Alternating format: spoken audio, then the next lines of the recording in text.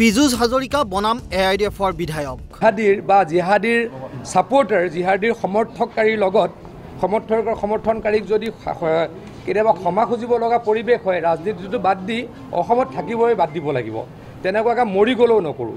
মৰি গ'লেও নকৰোঁ আৰু মৰাৰ পাছত আত্মাই নকৰে তেনেকুৱা কাম। এইটো তেওঁলোকৰ অহংকাৰ চূড়ান্ত অহংকাৰ আৰু এই অহংকাৰ বেছিদিন নাথাকে। ক্ষমতা আমি ইতিহাসত দেখিছোঁ বহুত এনেকুৱা এক মানে একনায়কত্ববাদী বা অত্যাচাৰী স্বেচ্ছাচাৰী শাসকৰ কেনেকুৱা পতন হয় শেষত তেওঁলোকৰ কি পৰিণতি ঘটে ইতিহাসত এইটো এই কথাটো বহুত প্ৰমাণ আছে। চাওক ফাঁচি দিয়াৰ আগতে এটা টাইমটো দিয়ে নহয়। নহয় জানো?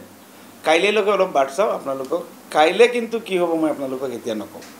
এ আই ডি এফৰ বিধায়কৰ ওচৰত কোনোপধ্যেই ক্ষমা নোখোজে মন্ত্ৰী পীযুষ হাজৰিকাই।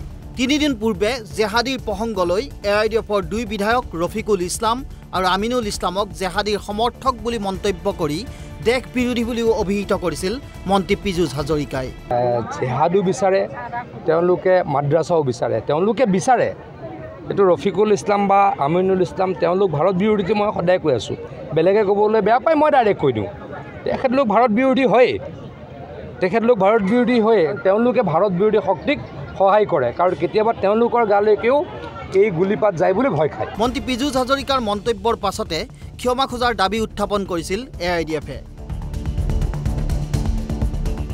পাছে মন্ত্ৰী পীযুষ হাজৰিকাই কোনো কাৰণতে ক্ষমা নোখোজো বুলি মন্তব্য কৰাৰ পাছতে এ আই ডি এফৰ বিধায়ক আমিনুল ইছলামৰ প্ৰতিক্ৰিয়া। ক্ষমতা চিৰস্থায়ী নহয়। শাসনত আছে বাবেই যি মন যায় কোৱাটো উচিত নহয়। মোৰ বিৰুদ্ধে প্ৰমাণ আছে যদি ৰাজহুৱা কৰক। তাৰ অপব্যৱহাৰ কৰিছে ক্ষমতাত আছে কাৰণেই যাৰ তাৰ ওপৰতে যিকোনো মন্তব্য কৰাটো উচিত নহয়। মন্ত্ৰী পীযুষ হাজৰিকাই কালি যিটো কৈছে তেওঁ ক্ষমা নিবিচাৰে। এইটো তেওঁলোকৰ চূড়ান্ত অহংকাৰ।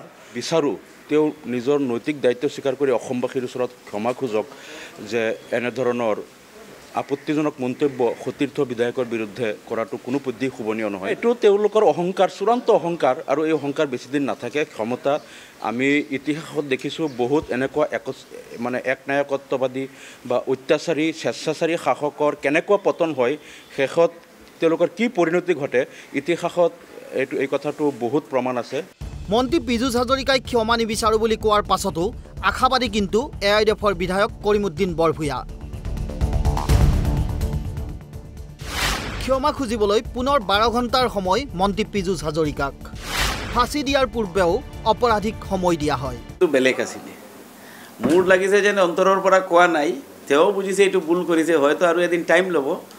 মোৰ হিচাপত কাইলৈ দিনৰ ভিতৰত তেওঁ এইখিনি ফিল কৰিব আৰু পটককৈ এটা ৰিয়েকশ্যন দি দিছে কিন্তু মোৰ লাগিছে যেন তেওঁ নিজেই কৈ আছে কিবা ঠিক খোৱা নাই ঠিক খোৱা নাই তেনেকুৱা। তো কাইলৈলৈকে বাট চাওঁ তাৰপিছত গম পাব কাইলৈ আপোনালোকে মই কি কৰোঁ। আৰু চাওক ফাঁচি দিয়াৰ আগতে এটা টাইমটো দিয়ে নহয় নহয় জানো?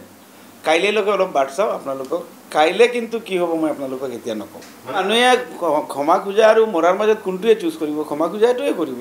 তো অলপ বিপদত পৰিলে তেওঁ ক্ষমা খোজাতেই যাব আৰু মৰিবলৈ নাযায়। কাইলৈ গম পাব। আৰে চৌধ্য গোষ্ঠী নহয় তেওঁই বিচাৰিব। কাইলৈ ৱেইটটো কৰক না। কাইলৈ দিনটো ৱেইট কৰক। মন্ত্ৰী পীযুষ হাজৰিকাৰ পাছতে এইবাৰ এ আই ডি এফৰ বিধায়কলৈ সন্দেহৰ আঙুলি শাসকীয় দলৰ আন এজন মন্ত্ৰী জয়ন্ত মল্ল বৰুৱাৰ। এ আই ডি এফৰ বিধায়কে ক'ত যায় কাক লগ কৰে তদন্ত হ'ব। জেহাদীৰ পক্ষত মাত মতাসকলো সমানেই দোষী এনেকুৱা যেতিয়া জেহাদীৰ ওপৰত আক্ৰমণ চলে বা জেহাদীৰ ওপৰতে তেতিয়াহ'লে তেওঁলোকে ধৰ পৰাই থাকে। তেওঁলোকে জেহাদীৰ প্ৰতি মৰম দেখুৱায়। তেতিয়াতো আমাৰ সন্দেহ হোৱাটো স্বাভাৱিক। আৰু এই সন্দেহ কৰাৰ লগে লগে যে তেওঁলোকে নিজে সজুৱাই লৈছে যে তেওঁলোকে সেইকেইজন বিধায়ক তেতিয়াহ'লে তেওঁলোকৰ ওপৰত ভালকৈ এনকুৱাৰী কৰিব লাগিব। ভালকৈ চাব লাগিব তেওঁলোক ক'ত যায় ক'ত লগ ধৰে কোন ক'ত যায় বহে কোন মানুহক লগ কৰে ক'ত ক'ত বেলেগ মানে ৰাষ্ট্ৰবিৰোধী মানুহৰ লগত কিবা কথা পাতে নেকি এইবিলাক এনকুৱাৰী কৰিব লাগিব এতিয়া। খুব কঠিনভাৱে এনকুৱাৰী কৰিব লাগিব। সতীৰ্থ বিধায়কৰ বিৰুদ্ধে দুজনকৈ মন্ত্ৰীয়ে ৰাজহুৱাকৈ জেহাদীৰে সম্পৰ্ক থকাৰ অভিযোগ আনিলে। কোনো তথ্য প্ৰমাণৰ ভিত্তিত শাসকীয় দলৰ মন্ত্ৰীৰ এই অভিযোগ নে ইছ্যু ডাইভাৰ্ট কৰাৰ বাবে এই মন্তব্য। কাৰণ যিয়েই নহওক গণতন্ত্ৰৰ বাবে যে এয়া এক অশুভ পৰম্পৰা সেই কথা হয়তো প্ৰতিজন সচেতন নাগৰিকেই অনুভৱ কৰিছে। ভিডিঅ' জাৰ্ণালিষ্ট ভিগুৰ সহযোগত Himanshu Chaharia report Assam live twenty four.